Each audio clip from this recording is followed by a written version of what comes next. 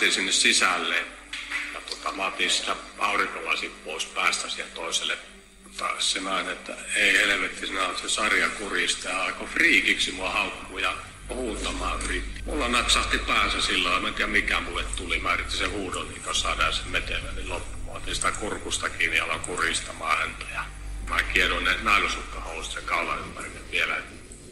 Ja etuosasta kirististä, mutta en sitäkään tehnyt kovin kauan. Ja ei helvetti, että henkirikosta olisi tapahtunut, mutta se on kuollut tuo nainen poliisit oli tänne laittanut, että mä yrittänyt syyn vierittää tämän vainajan niskoille. Eihän näin ole, mutta se käyttäytyminen, jos se nainen olisi käyttäytynyt samalla lailla kuin esimerkiksi tämä asiallinen intimihieroja päivää ennen, niin tuolla Herttoniemessä tätä ei olisi tullut koko hommaa tapahtua.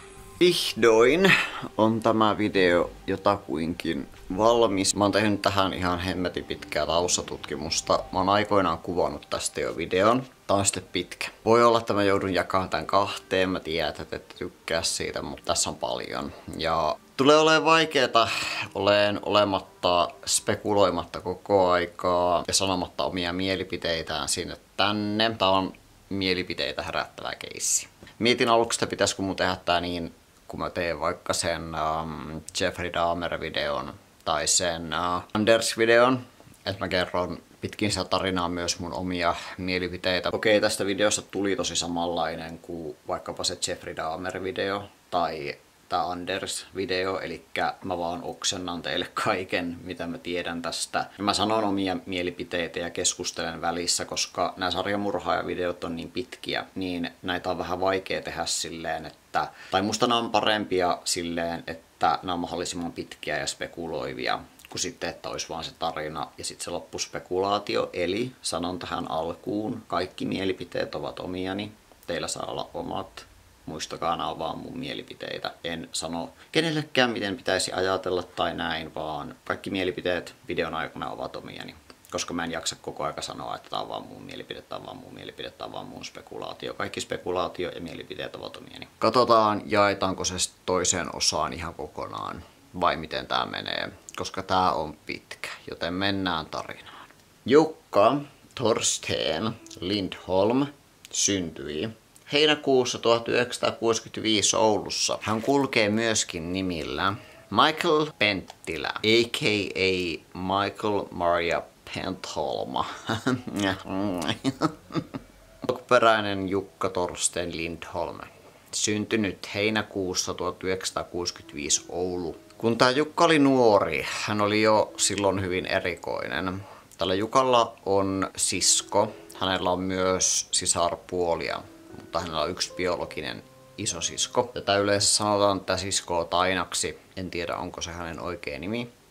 Hänen äidin nimi oli Laina. Tämä Jukka oli kuusi, niin hänen vanhemmat eros. Tuo Jukka oli kuulemma herkkä lapsi, joka lähinnä vaan roikkuu omassa äidissään. Siellä samalla pihapiirissä elänyt poliisi, joka sitten myöhemmin otti Jukan kiinni näistä hänen edesottamuksistaan tai oli mukana siinä, on kertonut, että tuo Jukka ei ikinä leikkinyt muiden lasten kanssa, vaan hän lähinnä vaan kulki oman äitinsä mukana. Tässä ihmisessä on kaikki sarjan murhaajakliseet, mitä on. Tämä Jukka oli nuori, niin hän oli silloin jo hyvin erikoinen. Hän muun muassa käytti outoja vaatteita, um, muiden nuorten silmiin outoja hän oli erityisen mieltynyt tämmöisiin valkoisiin nahkapuutseihin muun muassa yläasteella. Hän käytti myös semmoista pitkää samettista punaista takkia, mikä vähän aiheutti hilpeyttä muissa teini-ikäisissä. Kukaan ei haitannut.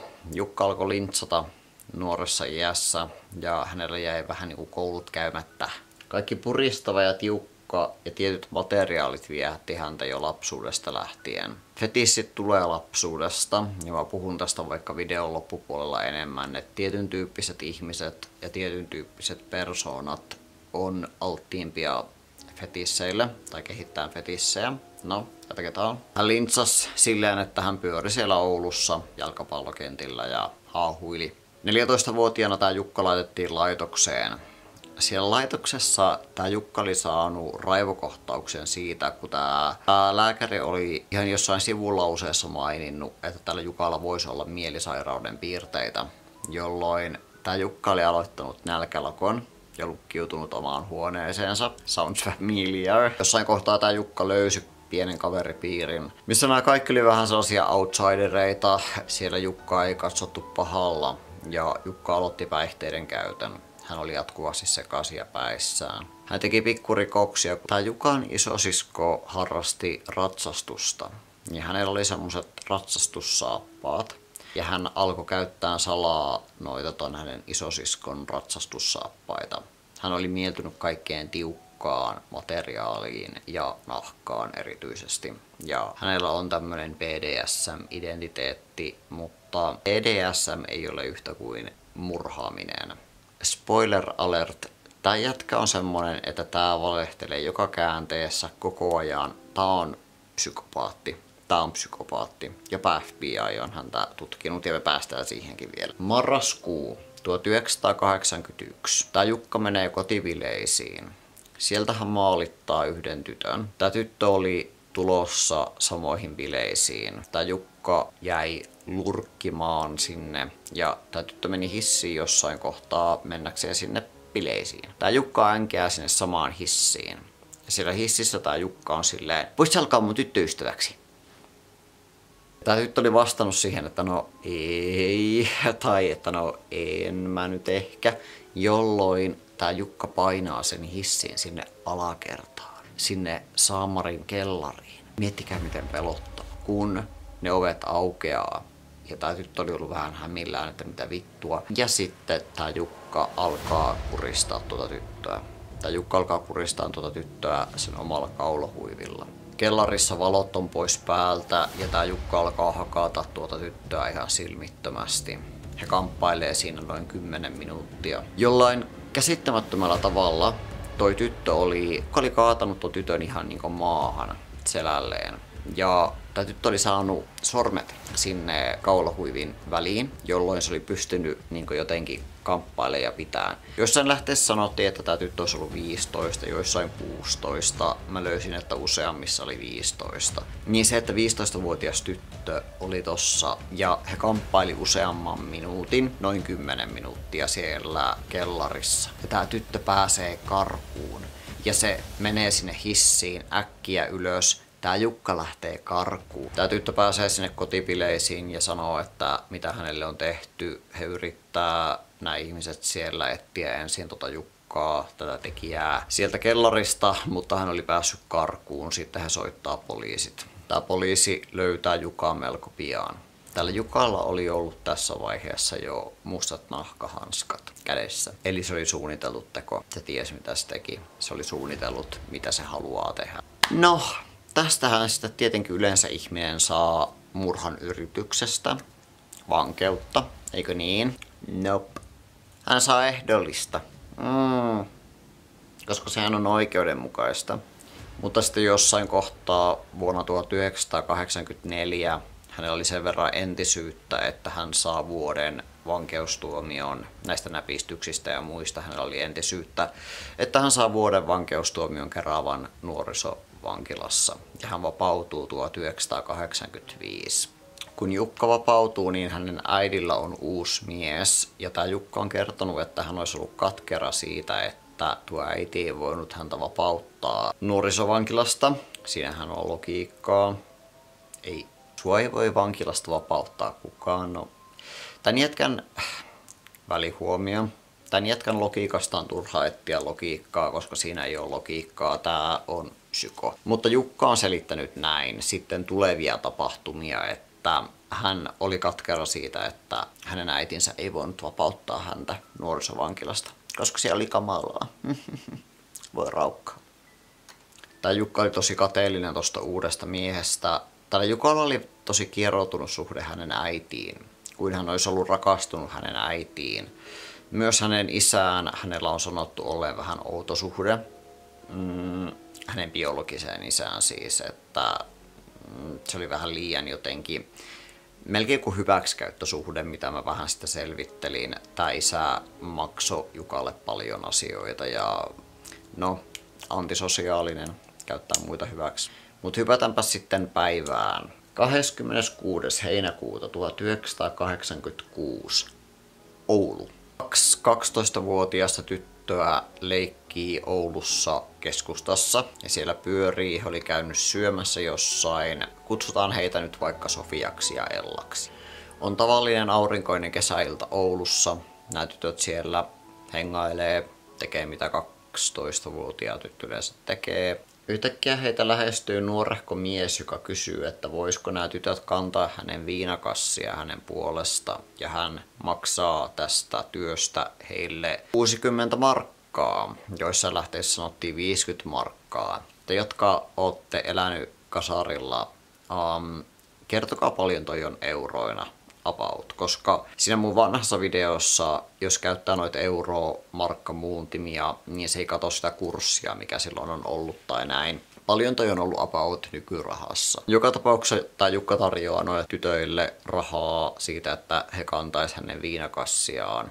Ja ehkä siinä oli ollut vähän sellaista, että no, te saatte myös tästä osan tai jotain tällaista. Tämä Jukka oli maalittanut noin tytöt pizzeriasta se oli istunut pizzeriassa ja se oli nähnyt ne tytöt syömässä ja se oli siellä valikoinut ne. Taas tulee mieleen Jeffrey Dahmer. Tässä on niin samoja juttuja. Ja tämän Jukan, mä luin tämmöistä niinku kriminaalipsykologien lausuntoja tästä Jukasta, että mitä he on sanonut. Ja yksi ihminen sanoi, että tämän Mikael Penttilän teoissa näkyy se, että se kehittyy koko ajan se kehittyy ikään kuin murhaajana. Että ne alun murhat on ollut vähän sellaisia suunnittelemattomia ja näin, ja sitten ne muuttuu koko ajan ja koko ajan suunnittelummiksi. Ja sitten siinä lopussa se on niin kylmää paatunut laskelmointiin. Tytöt miettii, että no miksei, heillä ei ollut muuta tekemistä. He oli kuitenkin kahdestaan, eli he varmasti ajatteli, että tässä ei ole sinänsä vaaraa, koska heillä on toisensa tähän aikaan ei ollut myöskään tapahtunut mitään näitä jammusetä sekoiluja, eli mm, he on ajatellut, että tämä Jukka asuu Rajakylässä. Varoitusmerkki itsessään Tervakukkatiellä. Hän houkuttelee nuo tytöt sisälle. Ja jossain kohtaa tämä Jukka järjestää semmoisen shown, että jompikumpi näistä tytöistä olisi varastanut hänen avaimet. Siinähän on järkeä. Miksi? Tai, tai niinku, mm. Sen jälkeen tämä Jukka lukitsee tämän toisen tytön, kutsutaan häntä Ellaksi vaatekaappiin. Siinä syntyy semmoinen sekasorto. Tämä Ella on siellä vaatekaapissa ja hän ei voi muuta kuin kuunnella, kuinka hänen paras ystävä Sofia kuristetaan hengiltä.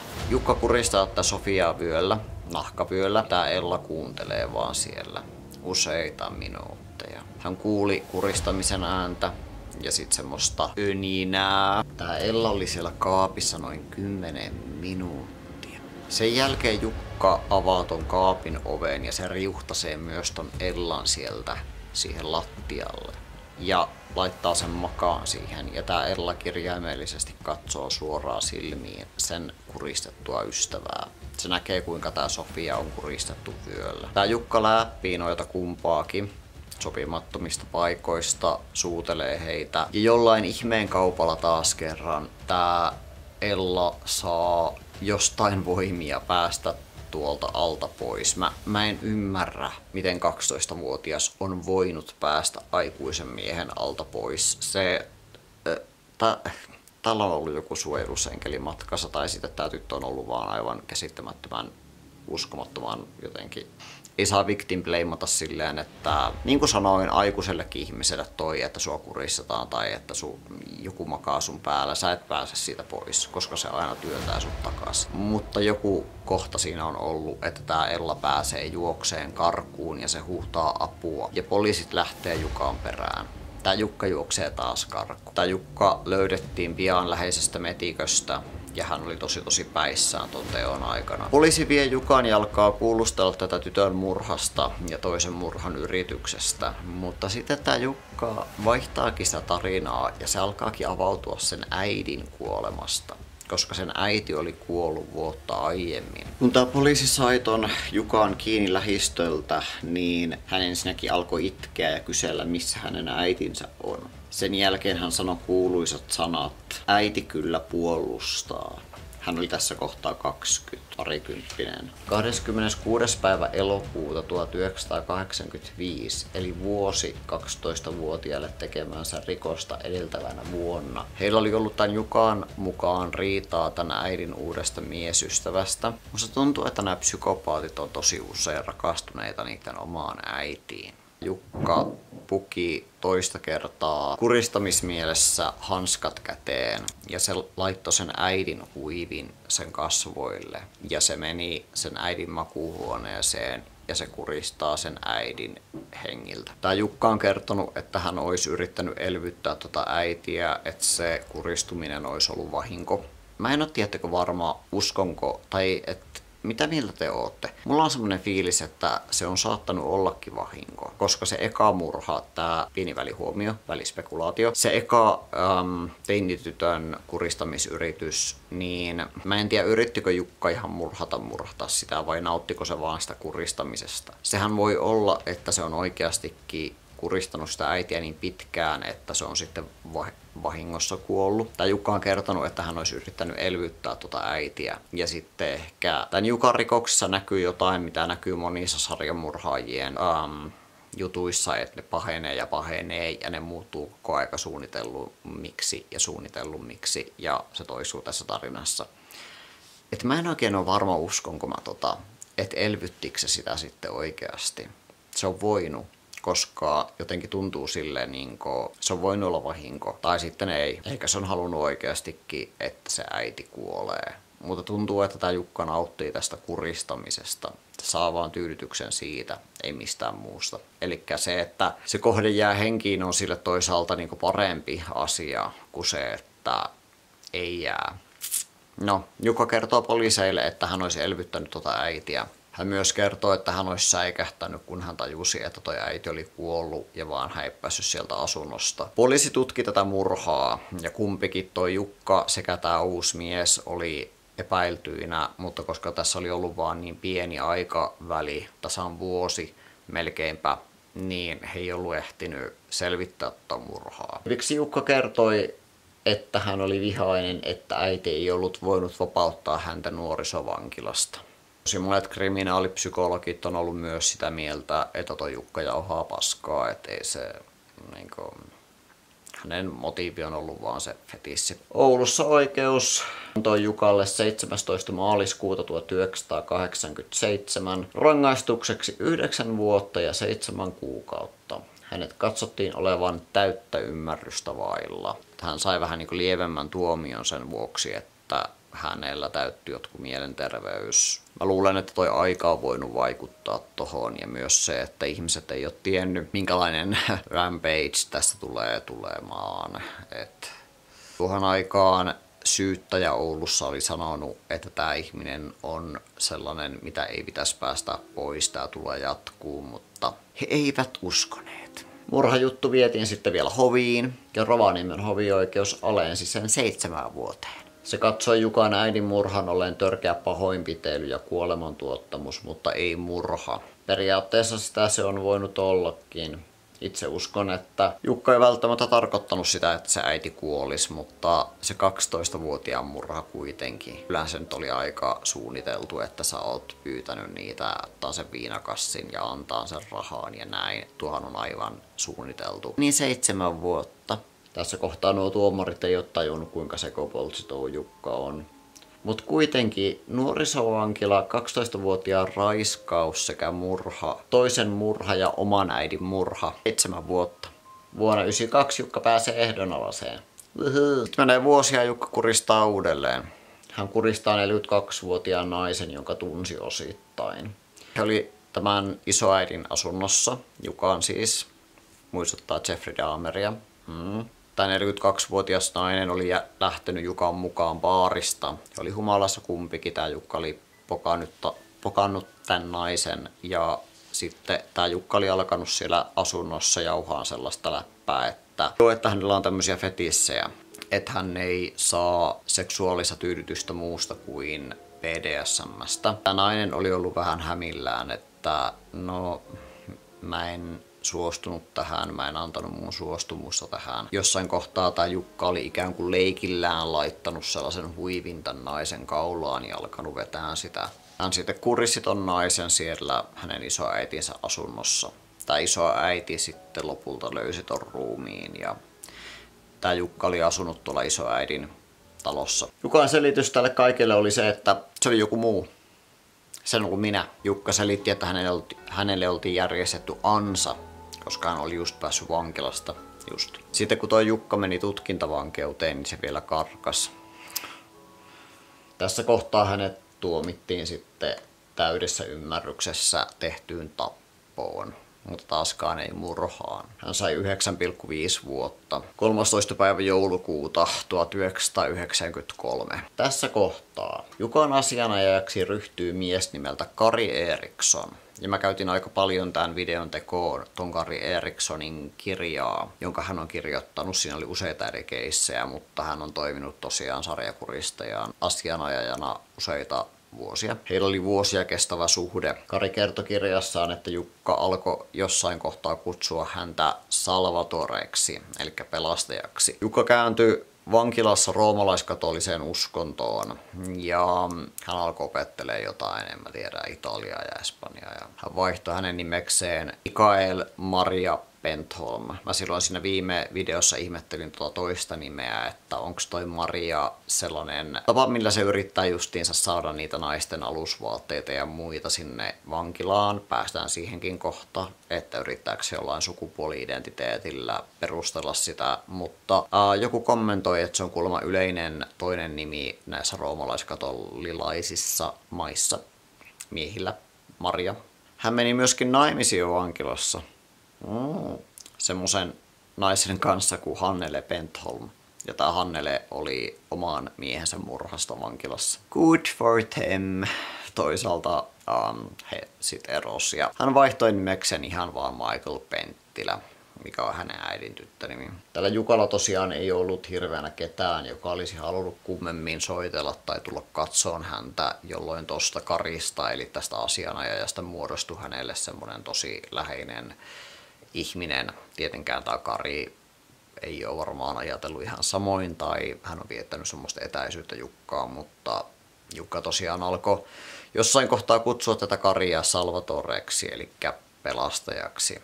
Että hei, Salvatore, se oli semmoinen niin lempinimi. Mielentilatutkimuksessa todettiin, että Jukka ihaili toksista maskuliinisuutta ja alkukantaista mieheyttä. Hänen sukupuoli-identiteettinsä oli hyvin maskuliininen mutta hän sai seksuaalisia kiksejä naiseksi pukeutumisesta. Hän oli pervo. Jossain kohtaa tämä Jeppä myös teki kantelun vankilasta, koska hänen ei annettu tuoda sinne naisten alusvaatteita. Vankila perusteli tätä sillä, että vankilassa ei sallita käytöstä, joka on seksuaalisesti provosoivaa, ja tolleen se on. Olit sä mies, nainen, transsukupuolinen, muun sukupuolinen, mitä vaan, jos sä oot seksuaalirikollinen, niin sä et vitussakaan tuo sinne mitään niin kuin, 2008 Jukka pääsee koevapauteen. Ja sitten alkaa oikein sarja-ahdistelu. Nyt, nyt mennään. Mä vihaan sitä, kun joku sanoo, että nyt mennään, mutta nyt mennään. Turvavöistä kiinni, nyt mennään. Mältä tuomiolta päästyään Pentholm meni Ouluun puhelinmyyjäksi. Sen piti olla semmoinen uusi alku hänelle taas kerran. Hän kuristi jotain tämmöistä naista, jonka hän oli tavannut oululaisessa ravintolassa. Ja hän lopetti, kun tämä nainen lupautui tämän tyttöystäväksi. Tämä nainen teki tästä rikosilmoituksen. Mä itse uskon, että tuohon on liittynyt pakottamista. He oli jossain kohtaa ollut tämän oululaisnaisen asunnollakin. Tämä oululaisnainen oli ilmoittanut ystävälleen siitä. Sitten häntä Jukkaa epäillään törkeästä raiskauksesta. 2009 Penttilä tilaa hierojan asuntoonsa. Tässä oli kammottavaa se, että kun toi hieroja tuli sinne asuntoon tekemään omaa työtään, se alkoi pystyttämään sitä hierontapöytää, mihin sä menet makaamaan, niin silloin se Jukka alkoi takapäin kuristaa sitä naista. Tämä nainen onneksi pääsi vapaaksi ja ilmoitti poliiseille. Syyskuussa pari kuukautta myöhemmin Jukka tilaa kotiinsa siivojan ja kuristi tätä. Siivoja soitti poliisit. Tuon naisen oikeuteen tuli todistajaksi strippari, joka kertoi, että tämä Jukka oli joskus kuristanut häntäkin niin lujaa, että hän oli menettänyt tajuntansa ja hän oli vuotanut verta. Sen jälkeen tämä Lindholm oli pyydellyt paljon niin anteeksi ja ollut kauhean semmoinen. Tämä toistuu tässä tarinassa, että kun nämä uhrit ei kuole, niin sitten se esittää ikään kuin semmoista, että anteeksi, anteeksi, sori, että mä tein ton. Ja Jukka pidätetään taas.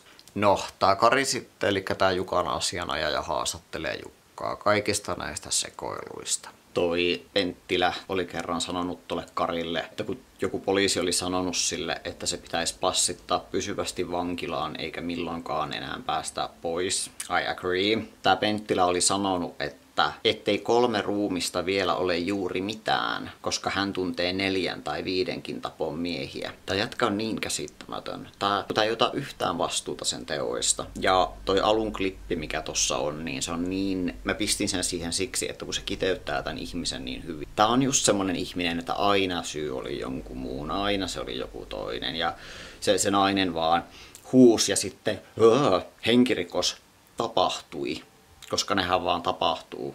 Niitä ei kukaan tee, vaan ne tapahtuu. Sitä sattuu.